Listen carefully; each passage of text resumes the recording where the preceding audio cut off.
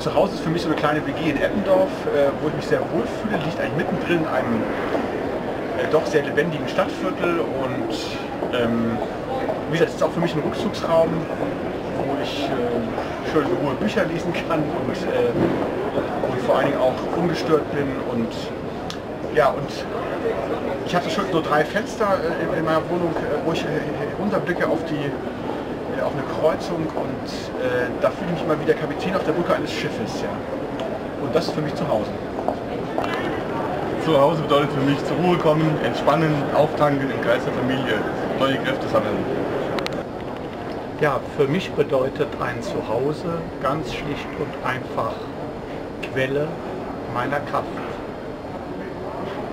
Zuhause hat für mich einen sehr, sehr hohen Wert, weil für mich ist Zuhause ein Rückzugsraum, in dem ich so sein kann, wie ich sein möchte.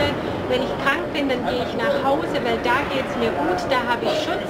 Zuhause ist für mich ein Schutz vor Wind und Wetter, vor, ja, vielleicht auch vor anderen Leuten, vor hm, Problemen auch und da kann ich mich einfach so geben, wie ich bin und mich wohlfühlen. Zu Hause ist für mich nicht nur vier Wände, sondern da findet Familienleben statt, da lade ich Freunde und Gäste ein, da kann Gemeinschaft stattfinden.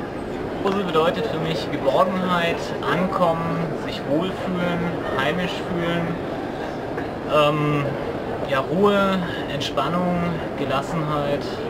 Genau. Ähm, zu Hause bedeutet für mich in erster Linie einen Ort zu haben, an dem ich weiß, dass ich da sein kann, dass ich immer wieder zurückkommen kann, egal wo ich hingehe. Ähm, und durch viel Umziehen ist mir aufgefallen, dass es eben sehr wichtig ist zu wissen, es gibt einen Ort, an dem man zurückkommen kann.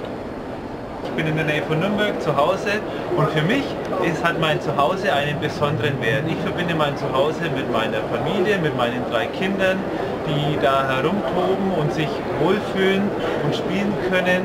Ich freue mich mit meiner Frau den Garten äh, zu bewirtschaften, gemeinsam Dinge zu unternehmen und ein Zuhause ist für mich besonders wertvoll, weil es für mich etwas mit Wärme zu tun hat, mit Liebe, mit Geborgensein.